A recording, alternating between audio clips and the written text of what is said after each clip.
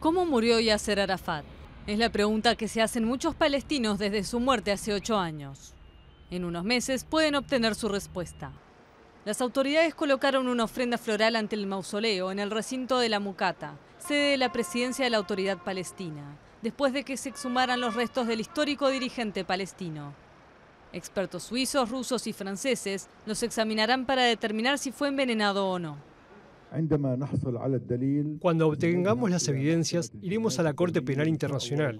Esperamos que esta sea la primera decisión a nuestro favor en un juicio de aquellos cuya política consiste en asesinar.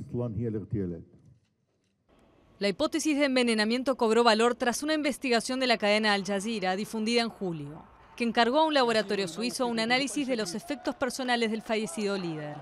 Las pruebas revelaron la presencia de polonio, una sustancia tóxica.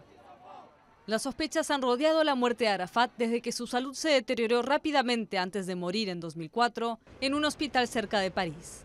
A pedido de su esposa no se le hizo una autopsia, pero muchos palestinos sospechan que él puede haber sido envenenado por Israel.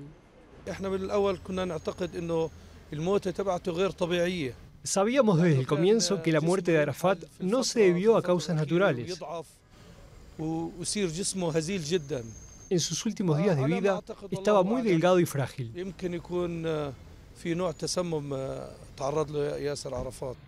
Hubo voces contrarias a la exhumación. Algunos dijeron que se estaba profanando la tumba y que es poco probable que se descubra algo nuevo. Estoy en contra de la apertura de la tumba del presidente Arafat, porque tal como Israel mata a los líderes de Gaza, mató a Yasser. Esto está claro y no es necesario investigarlo. Este procedimiento, además, es irrespetuoso hacia Arafat. Se sabe que lo mataron, y si se prueba que Israel lo mató, ¿qué se hará al respecto? Las muestras serán llevadas a laboratorios en el extranjero. Llevará varios meses conocer los resultados.